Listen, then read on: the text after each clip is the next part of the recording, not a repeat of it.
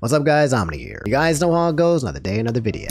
Last night I tweeted I sleep. What recent news, topics, tweets, videos y'all want me to talk about tomorrow? Markiplier needs our help in this huge new announcement that he's just made. Believe it or not, somebody made an entire anime only using AI. Apparently somebody in LA stole Ludwig's actual car. And breaking news, Pikamee, the huge VTuber that went into silence after getting bullied off the internet for playing Hogwarts Legacy will be graduating as of this month. All that and more. So yeah, you guys know the drill. Sit back, relax, put your feet up, and yeah, allow me to lay it on you. So let's start off fresh and talk about our boy Markimoo, aka Markiplier. We've said Markiplier is officially making his own feature-length movie. No cap, he is going to be the one creating everything from scratch, and he made a YouTube video saying, I need your help. Well, more specifically, it's called Need Some Help. Hello, it's going to be a busy month. Let me play a few seconds of the video in case you haven't seen it already. Hello. I'm in a new location, which means that it's time to start freaking out in earnest. So if you're not freaking out already, you better start freaking out because everything is new and everything is changing.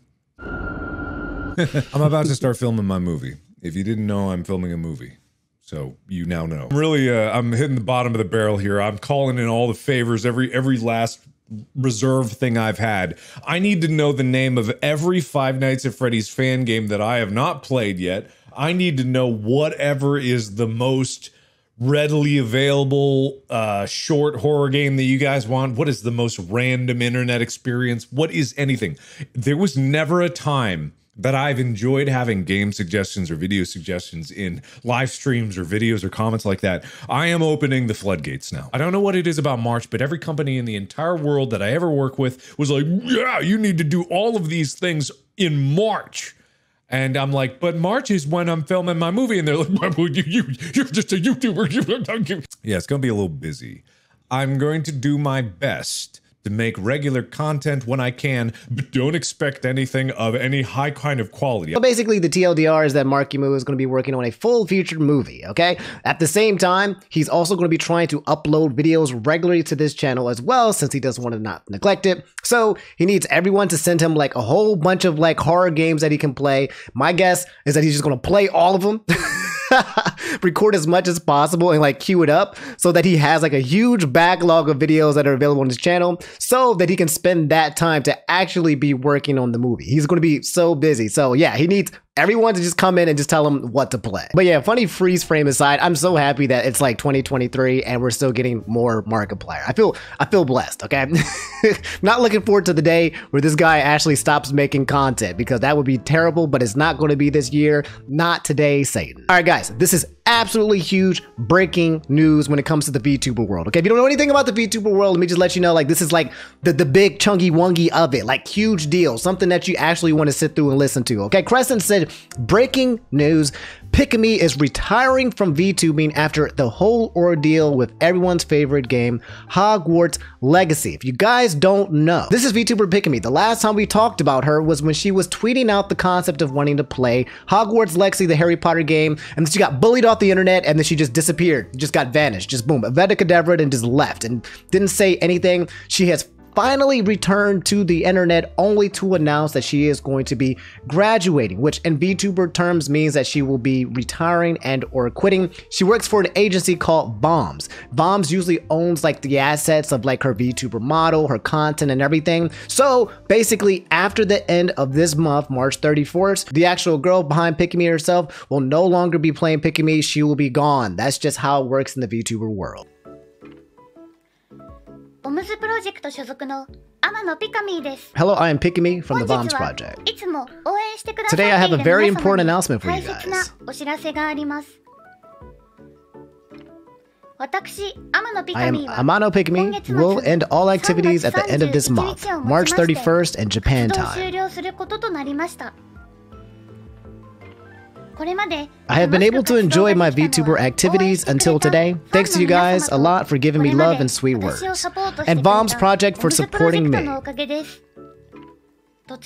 I am so sorry for shocking you guys like this.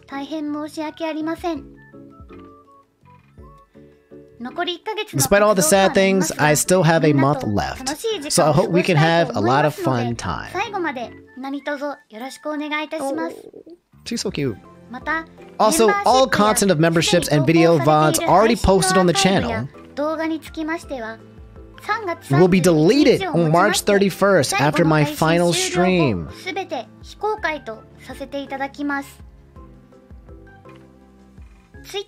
Same as Twitter, the account will remain but no longer active.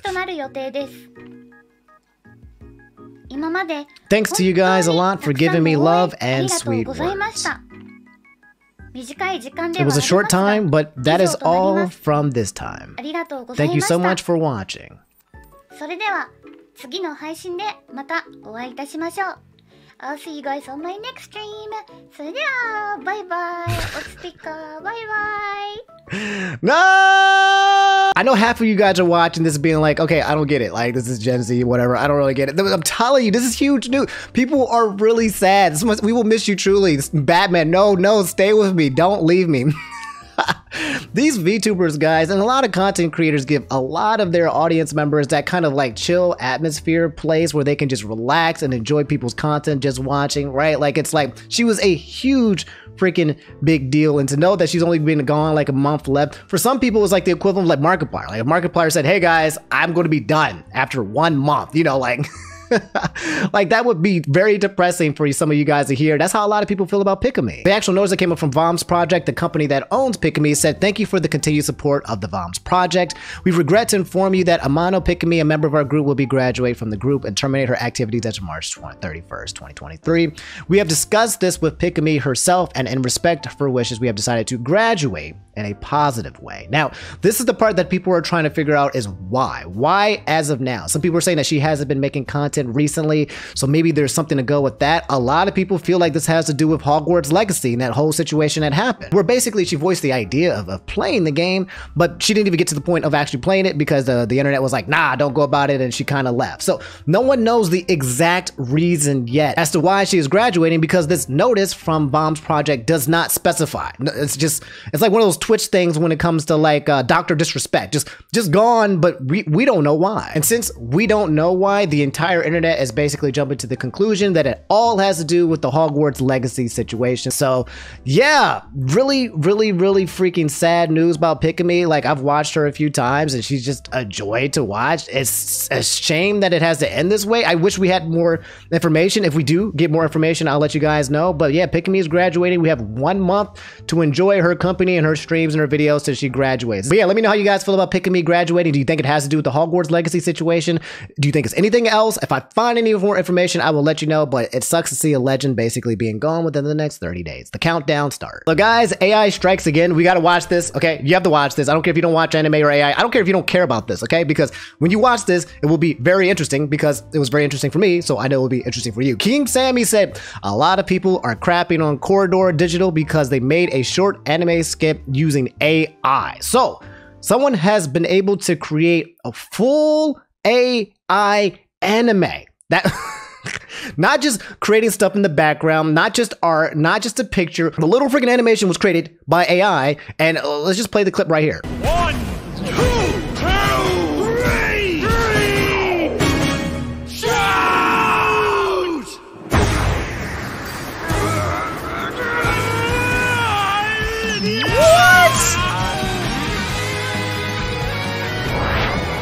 No way this is all rock paper scissors anime.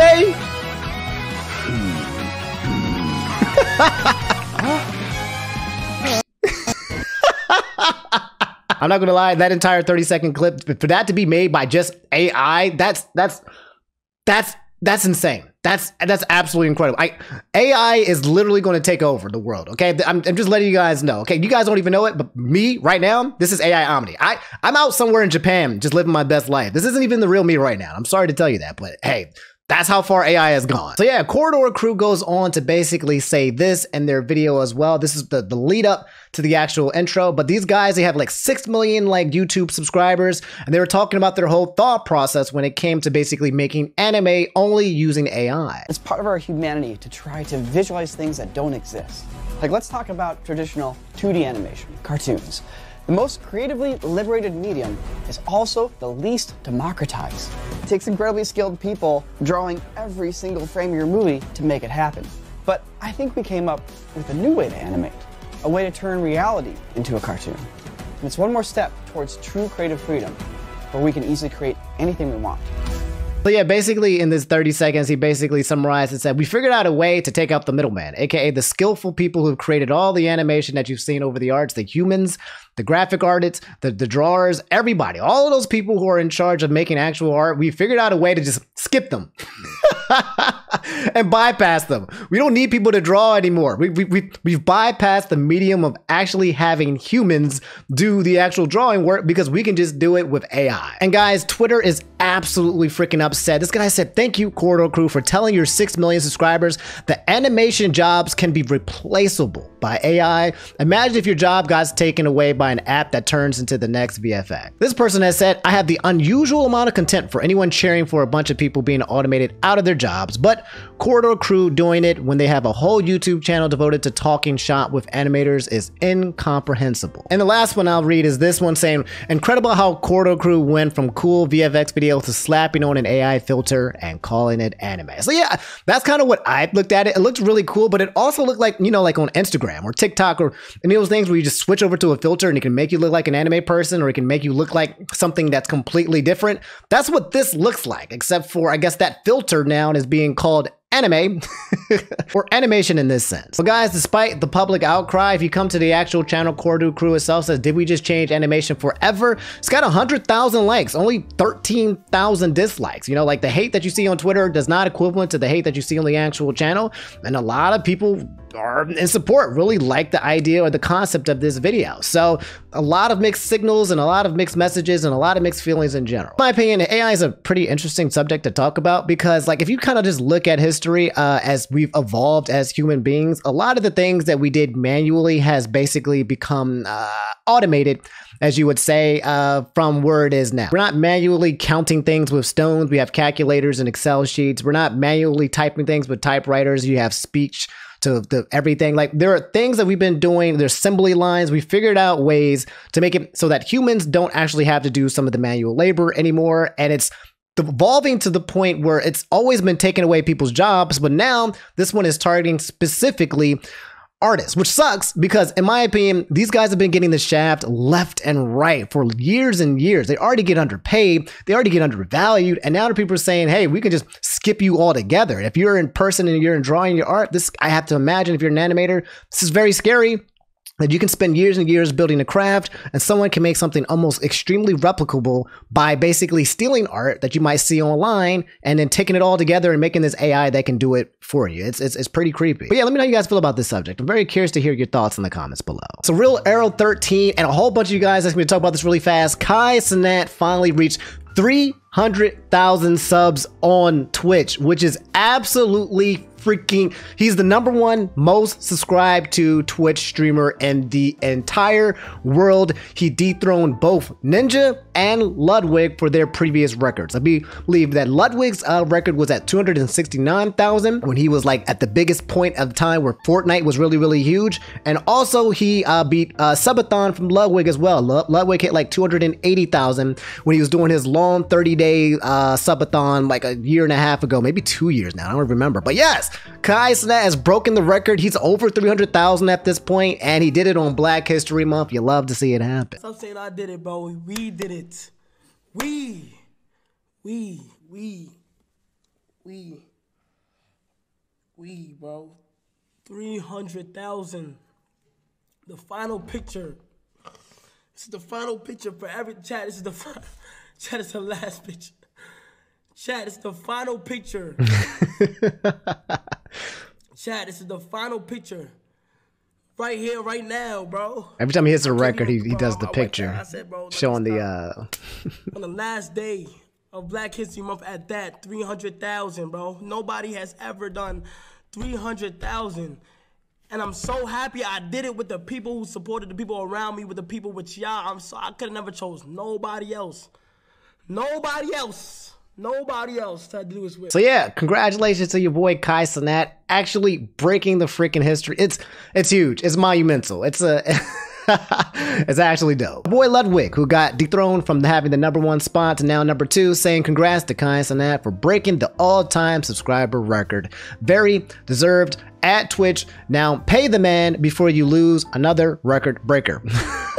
I'm sure most of you guys understand the reference, but in case you don't, uh, Ludwig broke the record for Twitch subs for uh, basically his subathon, and then he left and went to YouTube because he did not feel appreciated or feel like he was being compensated fairly because, you know, Twitch takes like 50% of that revenue from the subs anyway. Also, Ninja had broken the record when he was playing Fortnite and then he left and went to go to, to Facebook Gaming. So it was like every single time there was a record breaker in their platform that broke some kind of form of subs, they weren't getting compensated uh, fairly to them. And they was like, all right, well, I'm just going to jump ship and go somewhere else. People might feel like Kai might jump over to Kick dot com and be like, hey, all right, if you guys don't take care of me now, then I'm gonna go to Kick over there with Trainwrecks and Adin Ross and them. So we don't know if that's gonna happen yet, but yeah. However, speaking of Ludwig.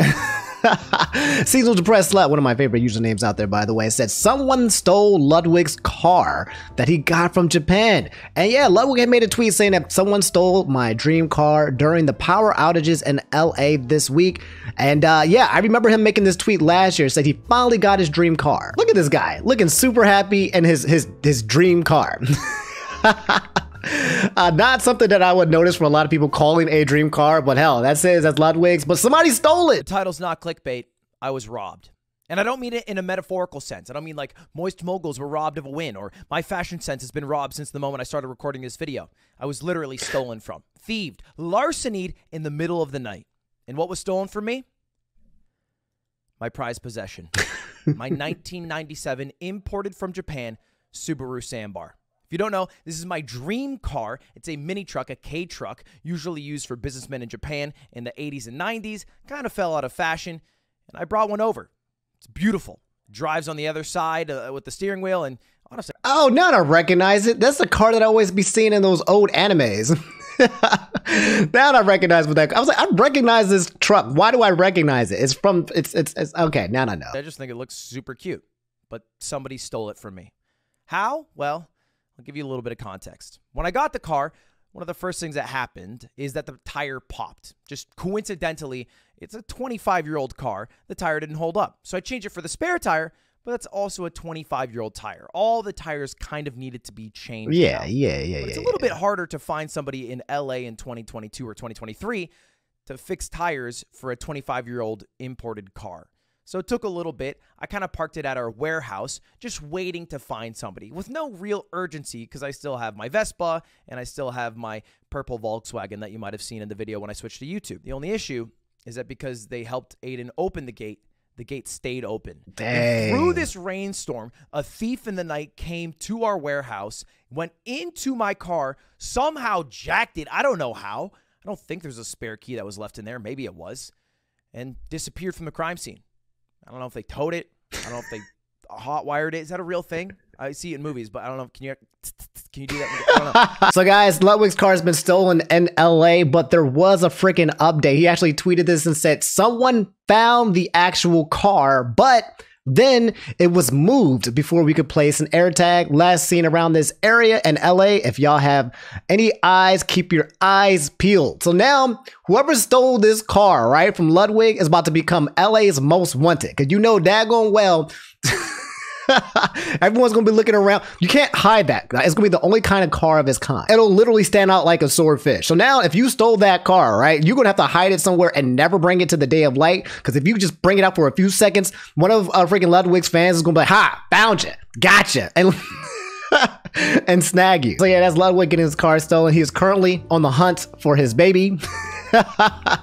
and why do I feel like he's actually going to find this car and it's going to turn into some actual genuine YouTube content? Whatever happens to this man's life, like if it's good, bad, or whatever, he will turn it into content for people to consume because that's just what Ludwig does. But all right, guys, that's all I have for today's video. We'll be covering the rest of the subjects this evening, around probably like 5 or 6 o'clock p.m. Eastern on Omni After Dark on Twitch. So come through, okay? Because we can't fit every single subject into one video. We'll have multiple and then it goes up to the second channel. I love you guys. I'll catch you guys later and I'll probably see you for a video tomorrow. Uh, happy March 1st. And uh, yeah, I will, yeah, I, I'm, I'm going to leave now because I'm rambling. All right, bye.